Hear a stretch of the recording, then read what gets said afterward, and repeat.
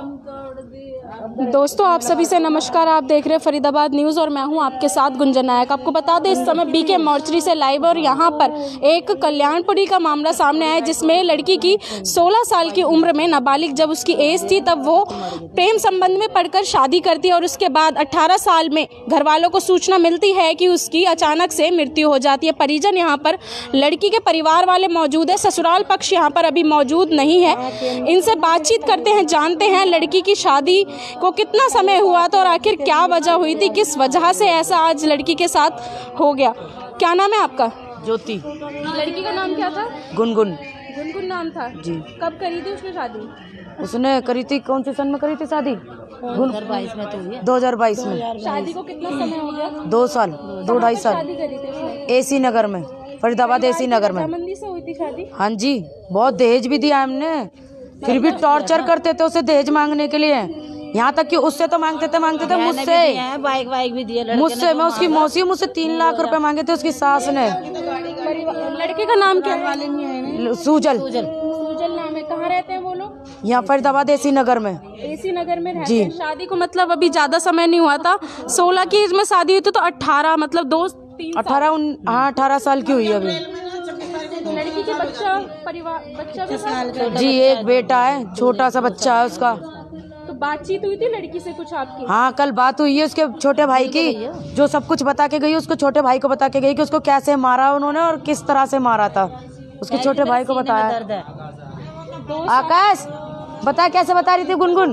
गुनगुन कैसे बताइए ये। लड़की का भाई भी यहाँ पर मौजूद है इनसे भी बातचीत करते कैसे क्या बात हुई? उसके मतलब सीने पे ना घूसे घूसे मारे थे उसके हस्बैंड ने कब करी है उसने?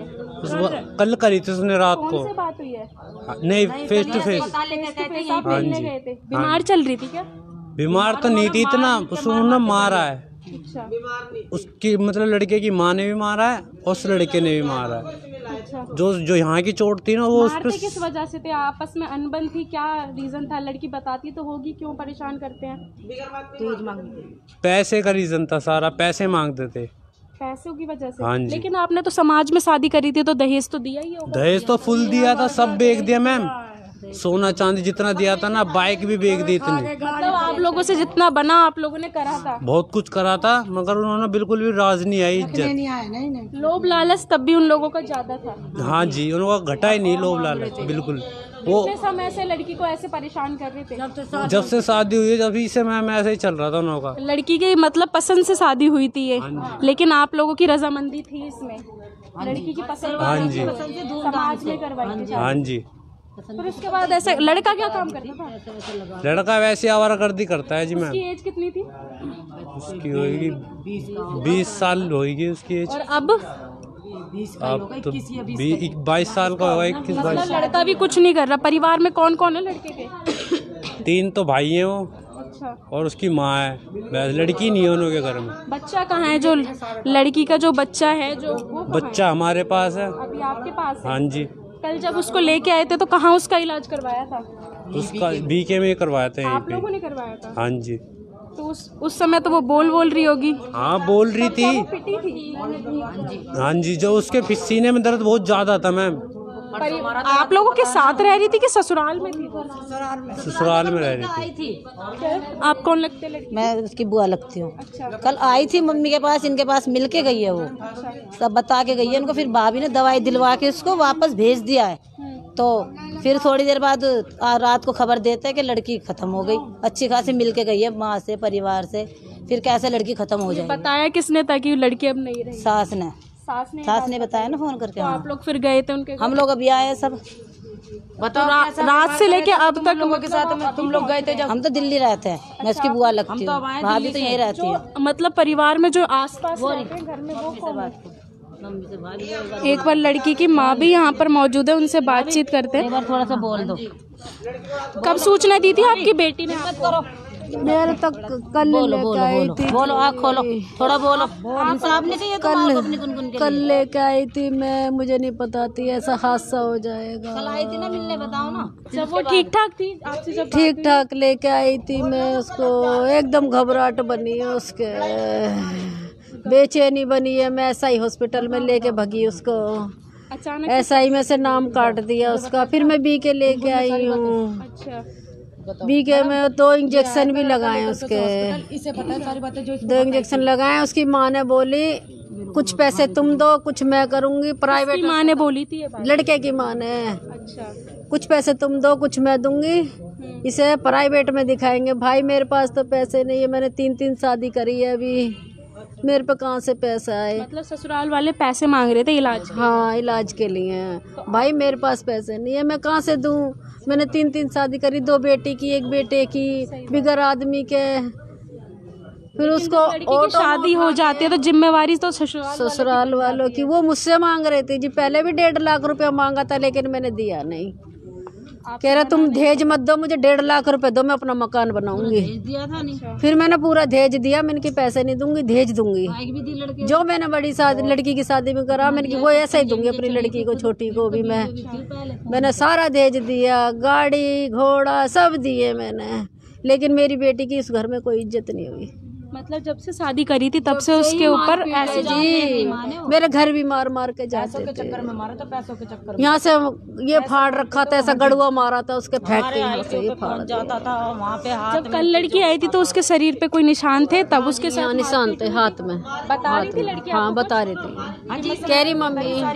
कौन लगते हैं आप लड़की? मैं भाई हूँ सर। छोटी मैडम हैं? हाँ। क्या बात हुई थी बहन से और कब हुई थी? मेरी मेरी हुई थी रात को बात उससे। हम्म। लड़की से यूँ कह रही थी मेरे बाल पकड़ के मेरी सास ने और मेरी जांग ही जांग में घूसे मारे हैं। सास ने जांग बाल पकड़ के और जांग ही जांग में घूसे मारे आपके पास कोई रिकॉर्डिंग है फ़ोन रिकॉर्डिंग नहीं मैडम वो बता रही थी मेरे पास हमारे पास फ़ोन नहीं था हमारे हाथ पैर वैसे फूले पड़े थे मैडम जी वो लड़की जो बता रही थी मैं थोड़ा सा उसको नोट कर रहा था दिमाग में और उसने बोली मेरी छाती में घूसा मारा भाई। मेरी छाती में घूसा मारा। ऐसा करती थी? नहीं उसने लड़के ने मारा छाती में घूसा। मतलब पति और सास दोनों ही उसको मार मारते थे दोनों में किस वजह से? बस ऐसे मारते थे? ऐसे ही मारते थे। फालतू में मारते थे वो तो टॉर्चर करते थे। नशा लड़का नशा नहीं वो समैक पीता है गांजा पीता है दारू पीता है सुलवा पीता है। जब आप लोगों ने शादी करी तो तब आपने ये चीज़ें क्यों नहीं देखी मैडम जी वो लड़की की पसंद थी मैडम जी वो। मतलब आप लोग भी कहीं ना कहीं बेबस थे। वो बहन वो बहन थी वो जिसके आगे कहाँ चलती हमारी वो बहन थी वो अपनी चलाती मैडम जी। मतलब उसकी खुशी के नाते वो उसकी खुशी के नाते हमने कर दी शादी उसका घर बस जाएगा।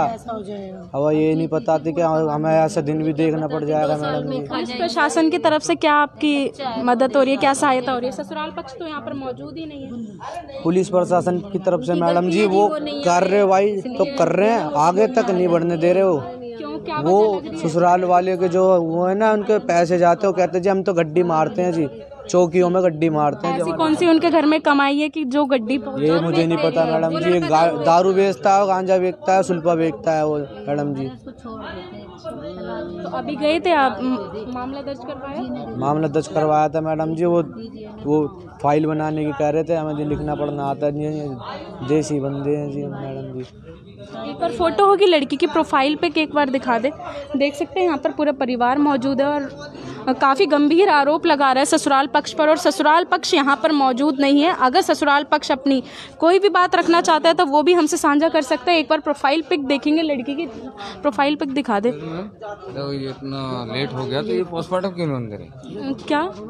इतना लेट हो गया मैं ब्रदर हूँ उनका। आ, ये पोस्टमार्टम क्यों नहीं होने दे रहे? तो अंदर और भी बॉडी पड़ी होंगी और क्यों पड़ी होंगी? तो इतना टाइम थोड़ी लगता है। कब से रखी है लड़की की? कल रात की। कल रात की रखी सुबह आज सुबह आई है? आज सुबह आई है सॉरी सॉरी सुबह आई है। है सुबह आई है। हाँ जी। पोस्टमार्टम में भी हो जाएगा हो जाएगा तो ये बॉडी के लिए तो मना कर रहे हैं ना अभी। कौन मना कर रहा है? ये हॉस्पिटल वाले। क्यों? बॉडी तो सौंपेंगे जब पोस्टमार्टम कितनी देर लगती है पोस्टमार्टम में? कितनी देर लगती है? हाँ ये तो है कितनी देर लगती है? एक्सीडेंट केस हो ये दुखी थोड़ी होगी। मैं भी अच्छे अच्छे से हूँ घर से अच्छे घर से हूँ डीसीपी ऑफ़िस में हूँ। है जी। हैं? ये कितनी देर लगती है? मतलब आपको कहीं ना कहीं मतलब गड़बड़ डाउट है डाउट है। किस पे डाउट है? हॉस्पिटल वालों पे? देते क्यों नहीं है ये? वो उन्होंने कैसे उन्होंने किसी लड़के वाले ने मना करी है या क्या मना करी है? प्रॉब्लम कहाँ आ रही है? प्रॉब्लम कहाँ आ रही है? मतलब डाउट कहाँ है? अगर डेड बॉडी आ गई है पोस्टमार्टम तरह से ससुराल पक्ष को मतलब आप नहीं ससुराल पक्ष की नहीं कह रहा मैं मैं एक बात कह रहा हूँ। जो सेंस वाली बात है मैं वो कह रहा हूँ कि अगर पोस्टमार्टम कितनी देर में होता है? एक बॉडी का। कितनी देर में होता है? आप बताइए आप मीडिया वाले आप बताइए। अब हॉस्पिटल वाले से पूछिए ज़्यादा से ज़्यादा चार घंटे? टाइम क्या हो रहा है? हाउ मच टाइम कागज़ नहीं देने में कितना हो रहा है? कागज़ नहीं दे रही। उसकी सास पुलिस वालों को। प्रॉब्लम ये वो जो चेकअप करवाए ना इसके अस्पताल में कागज़ नहीं निकाल के दे रही वो ना आधार वेरिफिकेशन के लिए मांग रही है कि इलाज कहाँ कहाँ से हाँ जी। किस टाइम आई है? ये क्या है? ये प्रोफ़ाइल पिक दिखा दें लड़की की। आधार कार्ड ये फ़ोटो इसकी लड़की ये लड़की की प्रोफ़ाइल पिक क्या नाम है लड़की का? गुनगुन। गुनगुन एज कितनी? अठारह। अठारह साल अब अठारह साल एज है। जी। बच्ची गई मतलब बच्चा भी है ना छोटा। हाँ जी। फ़िलहाल क्या मांग कर रहे हैं प्रशासन से? प्रशासन से। हमें बॉडी दे दें हमें बॉडी दे दें दे उसके बाद जो पोस्टमार्टम रिपोर्ट आएगी ना उसके ऊपर कार्रवाई होगी। पहले बॉडी दे दें घर वाले दिक्कत है। उसके ऊपर कार्रवाई हो जाए हमें पहले पोस्टमार्टम रिपोर्ट में तो हो नहीं जानी है कुछ भी हो जैसे भी हो पहले बॉडी तो दें। न वेस्ट नहीं मारा है वो तो रिपोर्ट में आ जाएगा। पोस्टमार्टम रिपोर्ट में आ जाएगा तो। उसके बाद देखेंगे। है के। जोड़ेंगे फरीदाबाद अन्य महत्वपूर्ण अपडेटों से नमस्कार गुंजन नायक।